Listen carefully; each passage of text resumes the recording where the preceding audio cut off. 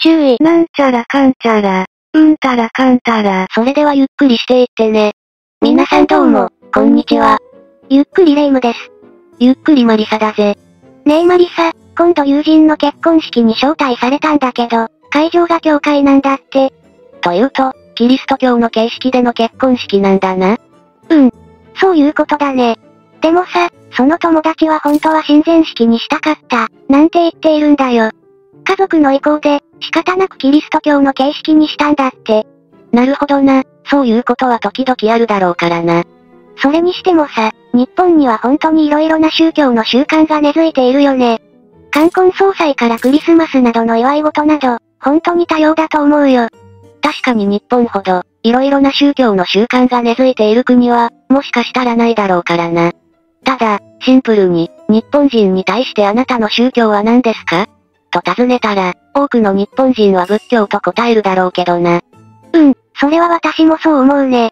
お葬式や墓参り、お盆という習慣はまさに仏教の習慣でしょ？ああ、それほどまでに仏教が日本にとって自然な宗教になっているが、実はそうなるまでに約800年かかっているんだ。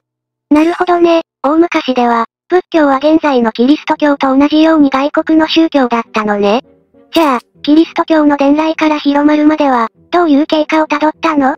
だいたい200年と言われているが、仏教と比較すると明らかに広まっているとは言い難いぜ。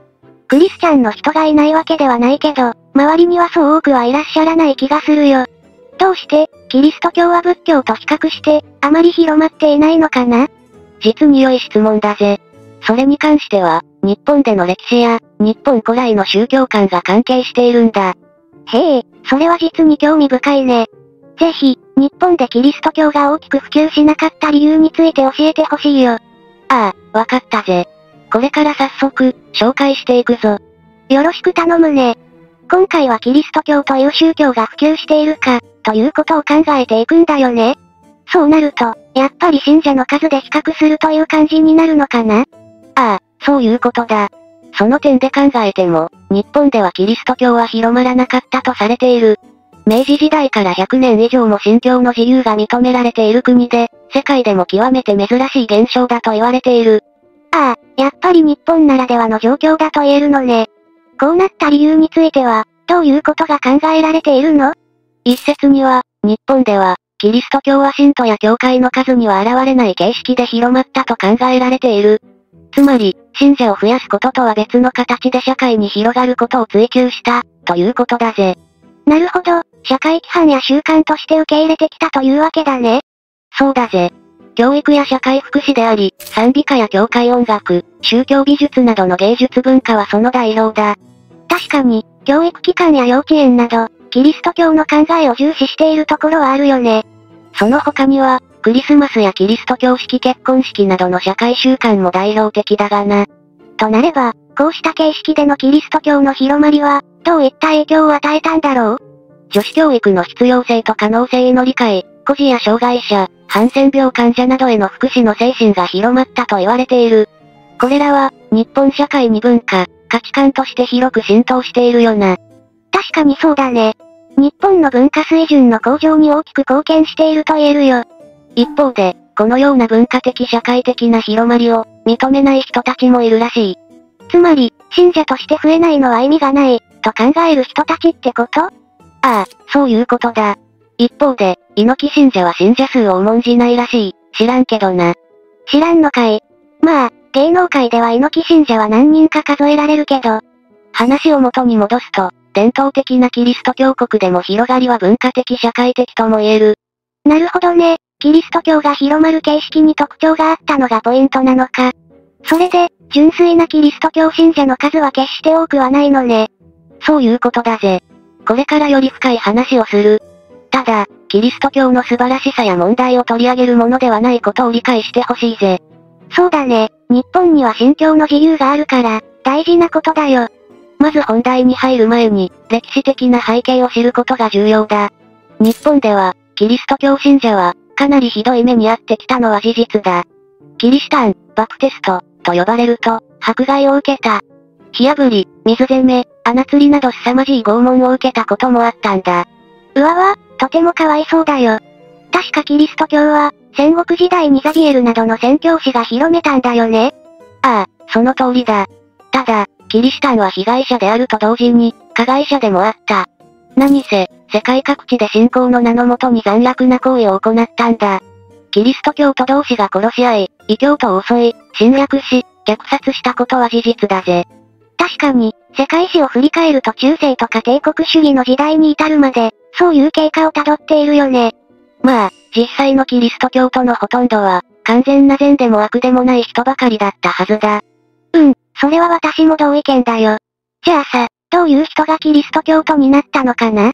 まず、現在のクリスチャンの人について説明すると、大半は、代々クリスチャンであった人たちだ。そして彼らの祖先は、おそらく回収を迫られたのだと考えられるんだ。へえ、そういう経過だったのか。押し付けられたケースが多いのね。ああ、そうなんだ。ローマ帝国では、キリスト教が国教となった。都市住民の約半数はキリスト教徒だが、地方では圧倒的多数が異教徒だった。なるほど、そういう状況で異教徒にキリスト教への改宗を迫ったわけか。じゃあ、日本ではどうだったの？日本が開国してキリスト教を解禁した頃には、キリスト教国で科学の発達と啓蒙思想の普及が進んだ。だから、キリスト教を押し付ける国はほとんどなくなっていたんだ。え？つまり、キリスト教の布教と、科学や啓蒙思想が関係しているってこと？そういうことだぜ。キリスト教を大規模に広めることは、そのような場所ではほとんど不可能だ。これは現代だけでなく、古代もそうであったらしいぜ。へえ、それは勉強になるななんとなく、日本で普及しなかった理由が想像できるよ。おそらく、レイムが考えている理由で正しいと思うが、これから深掘りしていくぞ。まず、日本でキリスト教が普及しなかった理由は、大きく二つあるとされる。一つは、神道と仏教がすでに浸透していたことだ。特に、仏教の力が強かったと思われるぜ。うん、それはよくわかるよ。平安時代から、多くの支援を受けていたからね。なんとなくだけど、神道も仏教も生活に根付いているよね。そこに、キリスト教が踏み入れる余地ってあまりなさそうなイメージがあるよ。もちろん、そこは重要だぜ。八百万の神が存在するという概念と、一神教とは全く違うからな。それに、当時の権力者がキリスト教を非常に警戒していたことも大きかったぜ。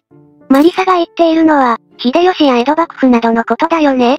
かなり苛烈な取り締まりをしていたのは、有名だよ。みんな、歴史の授業でしっかり習ったよね。そうだぜ。だからキリスト教が入り込む余地はなかった。秀吉や家康、明治時代の政府は、キリスト教を植民地拡大の先駆けとみなしていたのが大きかった。一部では、秀吉や家康は一向一揆を戦った経験から、宗教の力を知っていたという指摘もあるんだ。秀吉や家康、まさに戦国時代を代表する二人が、キリスト教を抑えたわけか。やっぱり、権力者による抑圧って、不況にかなり大きな影響を与えるんだね。もちろんそうだが、安土桃山時代のキリシタン自身の振る舞いも影響した、という見方もある。安土桃山時代の日本の宗教観は、かなり混沌としていたらしい。つまり、現代の日本と同じように、多様な宗教文化が根付いていたそうだ。ってことは、何でもありで、いろんな宗教に寛容だったってことね。そういう状況で、西洋からキリスト教が伝来したんだね。経過としてはそうなんだが、ザビエルはかなり苦労したらしいぜ。先祖は神によって救われないというキリスト教の考え方が、ネックになったそうだ。というのも、先祖を敬うのが、日本人の価値観だったからな。つまり麻薬ってことか、そりゃ普及には苦労するだろうね。ただ、それでも信者は着実に増え、九州を中心にキリシタン大名も出現したほどだった。実は、ここが日本におけるキリスト教の全盛期だとする人もいるんだ。へえ。戦国時代がキリスト教の全盛期とは、意外な話だよ。しかし、この時来日した宣教師の中には、悪い人もたくさんいた。彼らは日本人を誘拐して人身売買し、奴隷として輸出するようになったんだ。ええ、奴隷売買に関わった宣教師もいたの？そや目をつけられちゃうよね。だから豊臣秀吉は、これを問題視し、キリスト教を禁止したんだ。江戸幕府を開いた徳川家康も、この禁止令を引き継いだんだ。私は特に、江戸幕府の徹底したキリスト教の取り締まりが印象に残っているよ。島原の乱だって、キリスト教の禁止が関係しているんだったよね。ああ、そうだぜ。江戸幕府の取り締まりは、かなり厳しかった。また、家康は現在の市役所のように、仏教寺院が住民の把握と管理を行う制度を導入した。これにより、日本人のほとんどが寺院に名前を登録された仏教徒とみなされる社会が確立されたんだ。なるほど、キリスト教の入る余地を徹底的になくしたわけだね。そういうことだ。仏式の葬儀を行い、仏式の墓に納めるという文化が根付いていったんだ。それに、江戸幕府は明治維新まで長い間、キリスト教を禁止し続けた。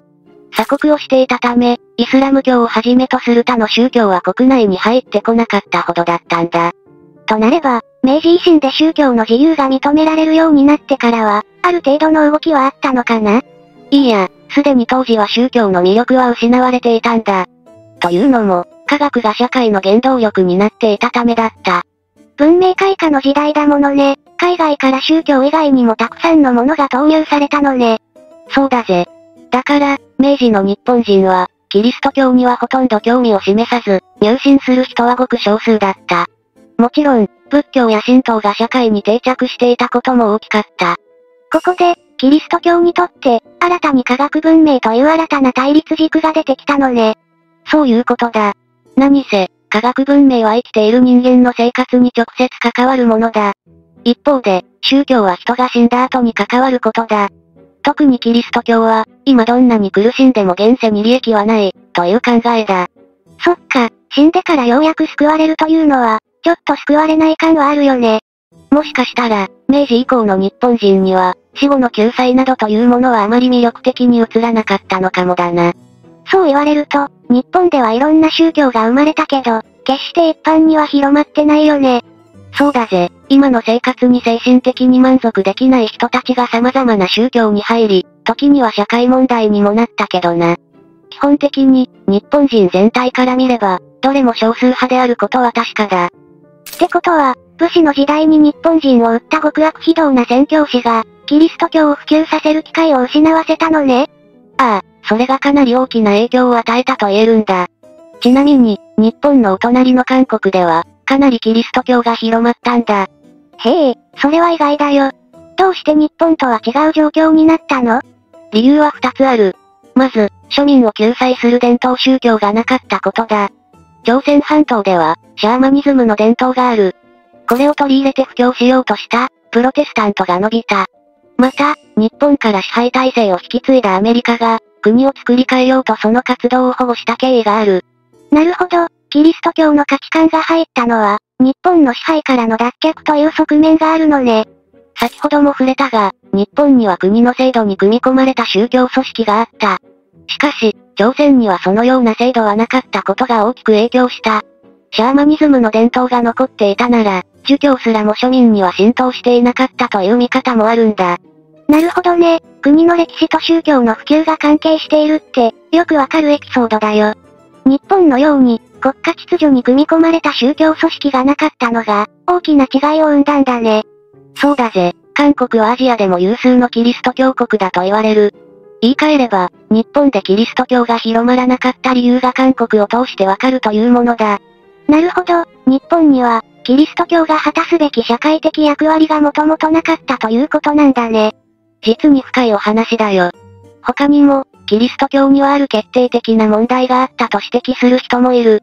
それは、死と犠牲を求める神という考えが、日本人の神という考えに合わない、というものだ。えっと、具体的にどういうこと？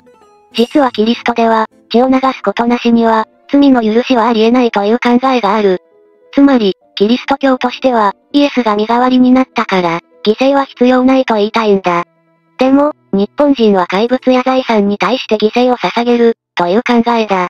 そっか、自分が崇拝する神に対して捧げるわけではない、という違いがあるのか。ああ、だから根本的にキリスト教は日本の神に対する考えと、見当違いだと言えるんだ。以上が、日本でキリスト教が普及しなかった理由の紹介だぜ。どうだったレイム？